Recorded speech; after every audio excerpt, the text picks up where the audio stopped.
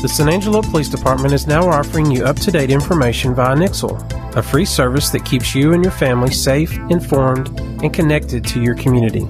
Severe weather, utility outages, traffic advisories, school closings. When you have Nixle, you know. Just go to nixle.com and sign in. It takes just minutes. You select what information you wish to receive, and it's free to join.